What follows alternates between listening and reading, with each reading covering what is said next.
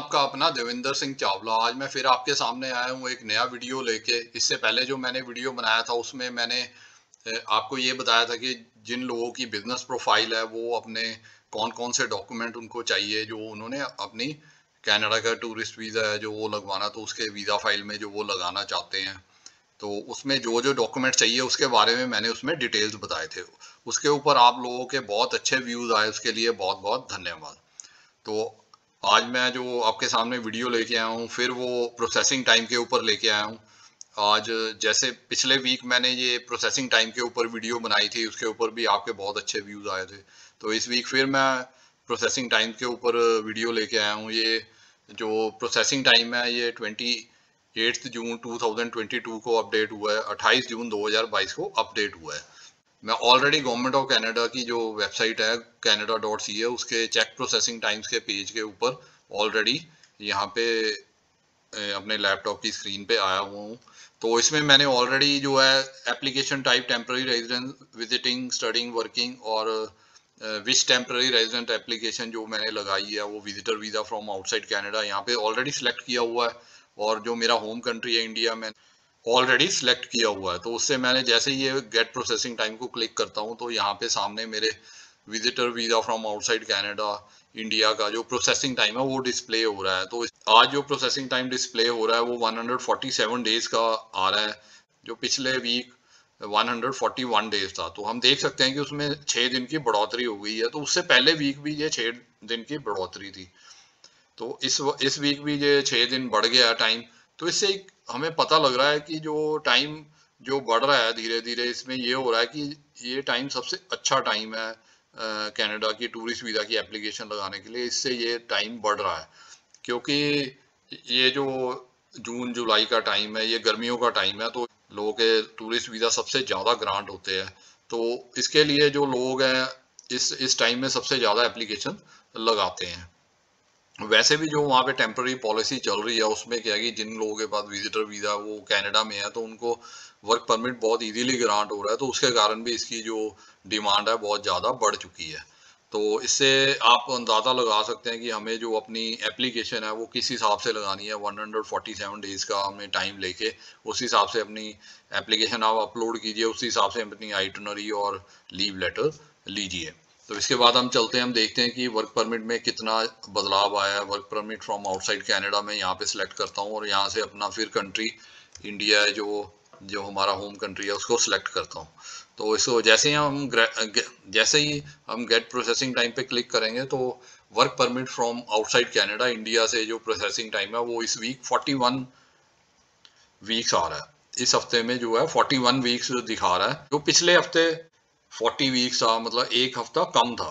तो इसमें भी सात दिन की बढ़ोतरी हो गई है। सात दिन जो है, जो प्रोसेसिंग टाइम है वर्क परमिट का, वो बढ़ गया है। तो इससे क्या है कि जिन्होंने स्पाउस ओपन वर्क परमिट की एप्लीकेशन लगाई हुई है, जिन्होंने जो लोग स्पाउस ओपन वर्क परमिट पे बाहर जाना चाहते हैं कनाडा जाना चाहते हैं तो उनके लिए ये सात दिन टाइम और बढ़ गया एक वीक का फ़र्क पड़ गया तो इसमें कोई घबराने की बात नहीं ये नॉर्मल है, इतना तो टाइम लगता ही है स्पाउस ओपन वर्क परमिट में। इतना टाइम ही आजकल लग रहा है तो इसमें कोई ज़्यादा चेंज नहीं आया। ज़रूरी नहीं है कि आपकी, जैसे ही आप आज एप्लीकेशन लगाएँगे तो 41 वन वीक्स ही लगेंगे, ऐसा कोई ज़रूरी नहीं है। इस टाइम से पहले भी आपको अप्रूवल मिल सकती है, इसके थोड़ा ज़्यादा टाइम भी लग सकता है। ये एक एवरेज टाइम वो एम्बेसी वालों ने बताया कि फोर्टी वीक्स लगेंगे। तो चलो, अब हम देखते हैं कि work permit from inside Canada में क्या प्रोसेसिंग टाइम आ रहा है। तो मैंने यहाँ पे already work permit from inside Canada initial and extension select कर लिया, उसके बाद गेट प्रोसेसिंग टाइम को क्लिक करता हूँ। तो इसके बाद जो जे, यहाँ पे डिस्प्ले आ रहा है work permit from inside Canada initial and extension online application का जो टाइम आ रहा है 154 डेज़ आ रहा है। ये पिछले हफ़्ते में 149 डेज़ था, इसमें पाँच दिन बढ़ गया है प्रोसेसिंग टाइम तो आप देख सकते हैं कि वहाँ पे भी लोग हैं जो कनाडा में इनसाइड कैनेडा से भी काफ़ी लोग वर्क परमिट के लिए अप्लाई कर रहे हैं, क्योंकि जो लोग वर्क पर परमिट लेना चाहते हैं, वो विजिटर वीज़ा पे जैसे वहाँ गए हुए हैं तो वो भी वहाँ पे वर्क परमिट लेना चाहते हैं तो उसके लिए भी एप्लीकेशन बढ़ रही हैं, उसका प्रोसेसिंग टाइम बढ़ रहा है। जो पेपर एप्लीकेशन का टाइम है, वो 149 डेज़ है, इस वीक में, जो पिछले हफ़्ते 150 डेज़ था, इसमें एक दिन की कमी आई है। तो ऑलमोस्ट सेम ही है, दोनों का टाइम सेम ही है ऑनलाइन एप्लीकेशन का टाइम भी सेम है पेपर एप्लीकेशन का टाइम भी सेम है। तो आप बेटर है कि जो भी लोग लगाते हैं, वो आजकल ऑनलाइन लगाते हैं तो इसके कारण उसके डेज़ थोड़े ज़्यादा हैं।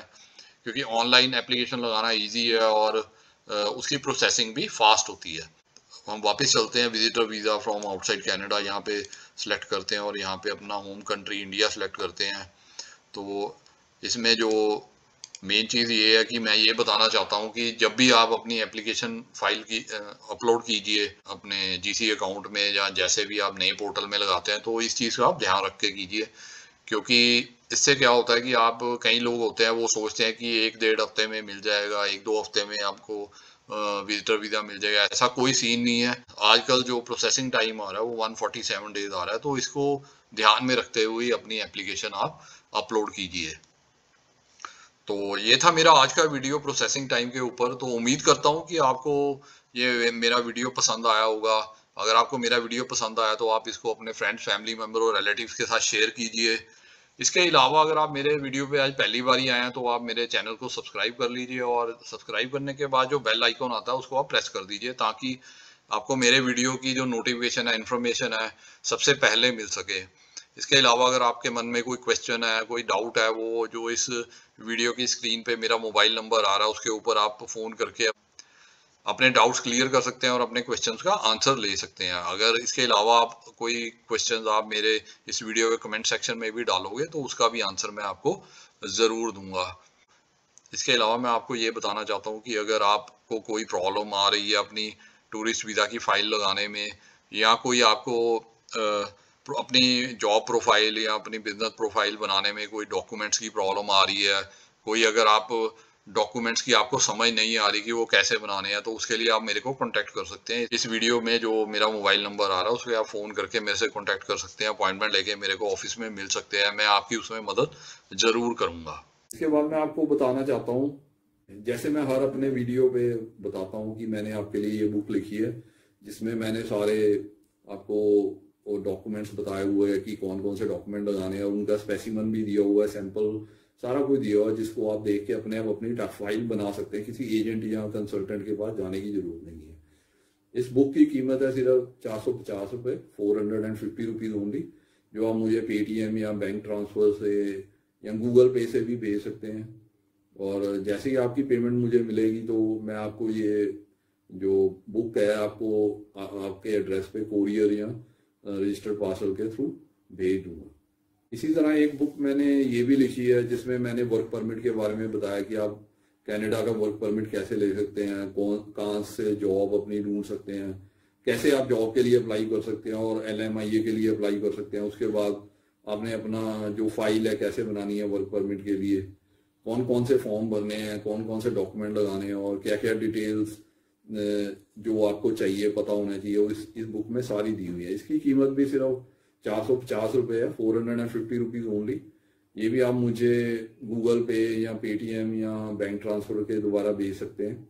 और मैंने जो पेटीएम और गूगल पे नंबर है, नीचे डिस्क्रिप्शन में दिया हुआ, आप वहाँ पे पेमेंट करके मुझे जैसे ही इन्फॉर्म करेंगे, मैं आपको, आपके एड्रेस पे ये बुक कोरियर या रजिस्टर्ड पासवर्ड के द्वारा भेज दूँगा। इसके अलावा जो मैं हर वीडियो में ऑफ़र देता हूँ आप लोगों के लिए, आपके बेनिफिट के लिए कि अगर आप कनाडा के टूरिस्ट वीज़ा की फ़ाइल फ्री ऑफ़ कॉस्ट बनवाना चाहते हैं तो आप मेरे को कॉन्टैक्ट कर सकते हैं। मेरे मोबाइल नंबर पे जो नीचे डिस्क्रिप्शन में दिया हुआ है तो उसके आप, उसके ऊपर आप मेरे से कॉन्टैक्ट करके अपॉइंटमेंट फिक्स करके मेरे ऑफ़िस आ सकते हैं और अपनी फ़ाइल जो कनाडा टूरिस्ट वीज़ा के लिए बिल्कुल फ्री ऑफ़ कॉस्ट बनवा सकते हैं। तो ये था मेरा आज का वीडियो ओके बाय Thank